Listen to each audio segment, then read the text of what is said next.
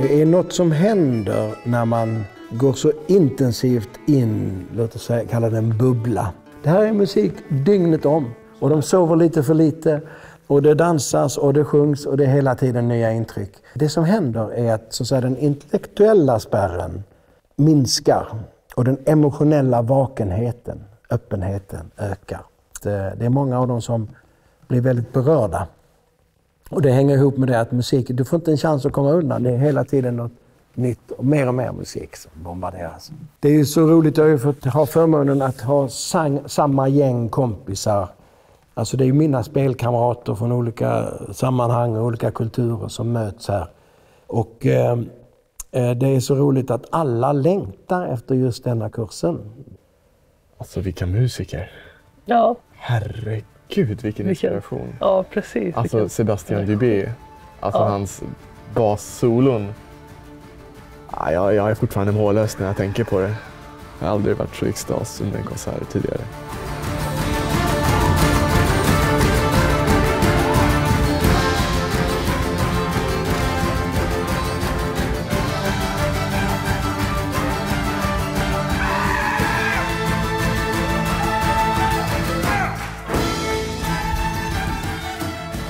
Det var som om någon tog en från en liten burk där det var ens komfortzon och släppte den ut i, ja, man, det, det var bara fritt fall.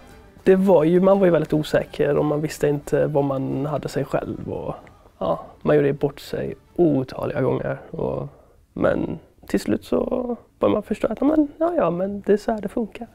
Jag tror det är viktigt i allt lärande att det finns två krafter som är ganska olika som jobbar parallellt. Det här wow, någonting händer och man blir bombarderad med intryck.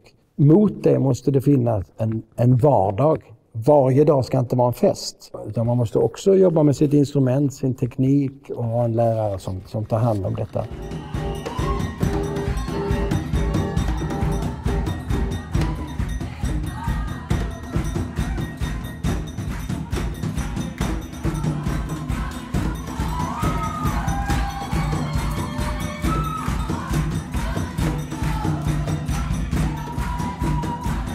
Ale, han sa att eh, för att få godkänt på kursen så ska man ha misslyckats drastiskt och katastrofalt åtminstone vad var det, fem, tio gånger? Fem gånger. Fem gånger. Fem gånger.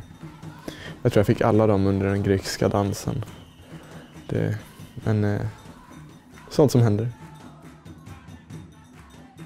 Man ska inte vara rädd för att visa upp att man är svag på vissa delar i musicerandet. För det är man och det är alla och det är, liksom, det är lugnt. Och man kommer bara känna sig dum mot sig själv och mot andra runt omkring en om man inte liksom vågar visa upp de svagheterna. Och att vi har fått göra det och blivit så uppmuntrade till det under den här veckan, det känns väldigt tryggt och väldigt skönt. Han är väldigt bra och energisk och gör man fel så är det inte det här att nej men du är dålig utan han, han drar med sig lite grann om man säger så och till slut så känner man att ja men jag kan liksom bättre än så. Och man blir liksom peppad. Kanske ändå det som betyder mest är att man blir så berörd av att känna den här eh, kraften och glädjen som, som de, de utstrålar och lusten till att ge sig på musik. Mellan mig och musiken måste det finnas en privat kärlekshistoria som jag kan dela med andra. Och att bli påmind om det, det är jättemäktigt för oss som jobbar med den här kursen.